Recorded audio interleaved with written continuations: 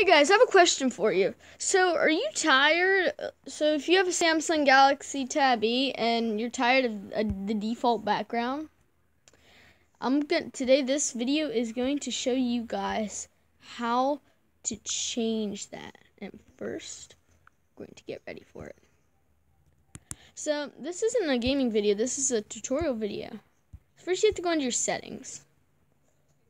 Then you have to select one of these options, which is wallpaper. It'll make a new tab. And you have all these defaults. You can choose that one or any of the other ones. But if you want your own, like a screenshot, like you found a cool thing in a game and you want that as your screen, as your background, you just go from gallery. You do home screen, lock screen, or home and lock screens. We're going to do home screen. I always choose that. Just let it load. Let me go into screenshots.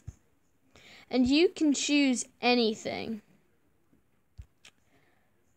So it's like you found something really cool and you want to use it. Like you're just like, I have to use this. So we are going to test it out with this. This was a cool, this was a cool um, screenshot I got of a roadblock in the airport of Extreme Car Driving Simulator where it got stuck in my truck and I just, I had to do this. Then you just click set as wallpaper, wallpaper applied. And then boom, just basically gives you the screen. Then you can just normally change it. Just change it from gallery, home screen. And now, so if you're wondering what this is, this is that. So in Mental Hospital 5, there's this creepy doll in the hospital. It looks like Pinhead from Hellraiser. There we go. As you can see, pretty simple. Also, I want to want to show you guys something else in the settings. It's I'm also going to show you guys how to take a screenshot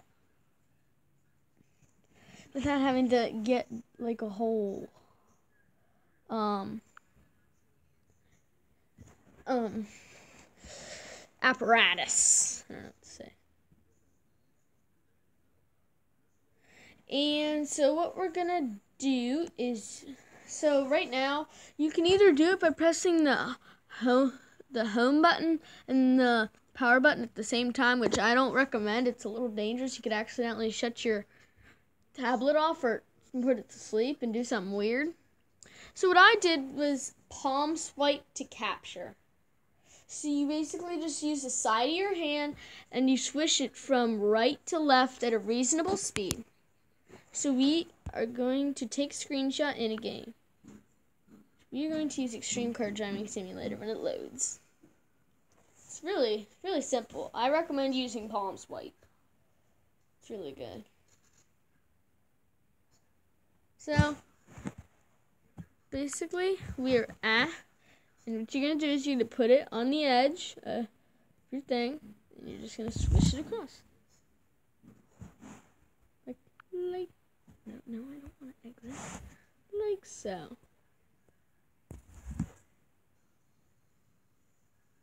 Or maybe it doesn't work because I have my DU recorder open.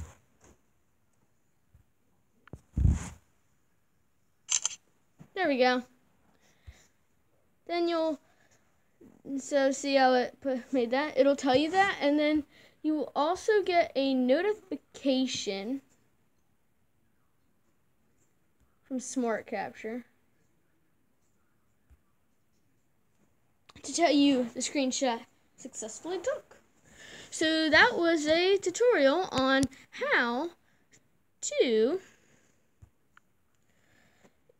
create or how to change your background and how to take a screenshot. Be sure to watch out for my other gaming videos and be sure to like this video and subscribe. See ya!